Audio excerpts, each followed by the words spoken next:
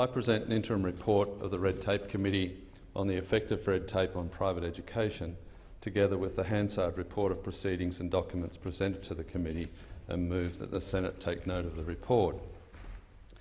The Senate Select Committee on Red Tape was established to inquire into the restrictions and prohibitions on business, on the economy and the community. It has produced interim reports on the sale, supply and taxation of alcohol, tobacco retail, environmental assessment and approvals, pharmacy rules, health services, childcare, occupational licensing and now private education. The inclusion of private education arose out of a meeting I had with the private education sector in Parliament House, at which I heard a litany of complaints about excessive and inappropriate regulation.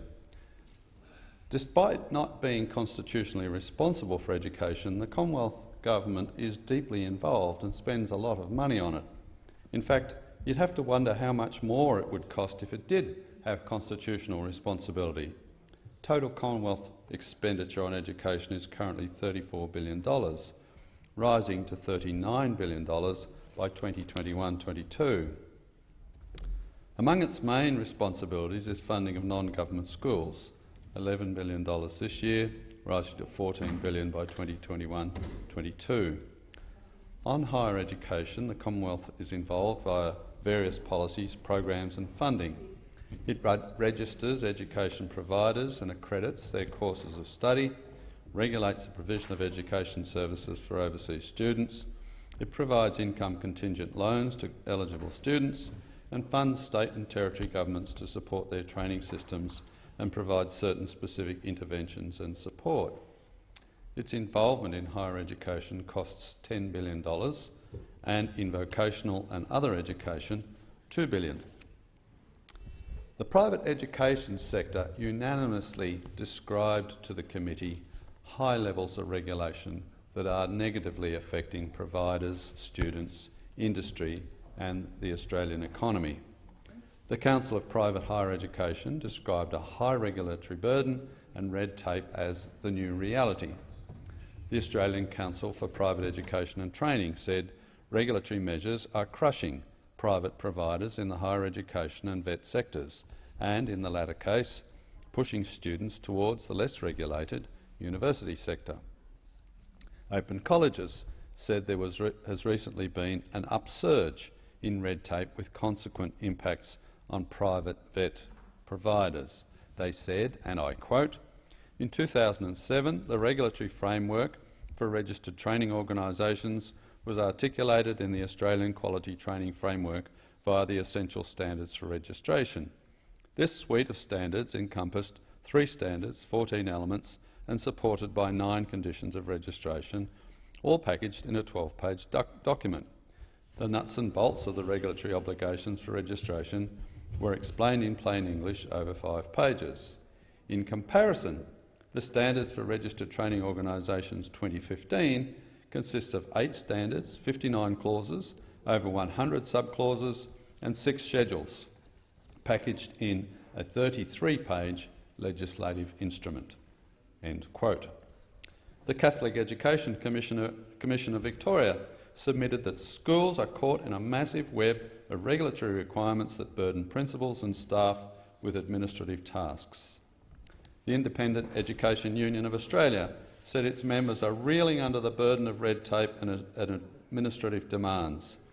Its submission cited ABS data showing that over the 10 years to 2017, school staff working in administrative and clerical positions increased by 71 per cent, while the number of teachers increased by just 15 per cent. Some submitters made the obvious point that this burden comes at the expense of educating students, enriching students' school experience, or having the capacity to pursue improvements that better support quality outcomes. Open colleges refer to the increasing distance between the relevance and timeliness of nationally recognised training and the needs of employers and the workforce in a global economy, with training packages out of date before they are released. Open Colleges said the trajectory of education regulation is clearly failing to meet the current and future needs of employers and students, with a national training framework at risk of being discarded by its core stakeholders in favour, favour of more innovative, responsive and flexible options offered by education providers operating outside the national framework. Some red tape is attributable to duplication. For example, the National Catholic Education Commission noted that private providers report financially to both the Department of Education and the Australian Charities and Not-for-Profit Commission, with the data required not being the same. Some of the red tape can be traced to a specific source. For example, the Council on Private Higher Education, the Australian Council for Private Education and Training and Open Colleges all attributed over-regulation in the vet sector to the recent vet fee help scandal. Some of the regulation of private sector providers does not apply to the public providers. Independent Schools Council of Australia referred to the need for each private school to be a registered provider, whereas a single registration covers all public schools in the jurisdiction of state education departments. Independent Schools Victoria noted that independent schools are significantly affected by town planning processes that do not apply to public schools.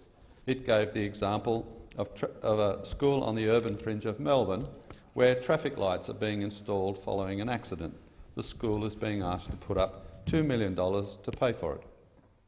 The Council of Private Higher Education described higher education policy settings as enforcing a system that preferences publicly funding, funded institutions at the expense of private education, with public institutions heavily subsidised, lightly regulated and free to pursue market and product development without external approvals.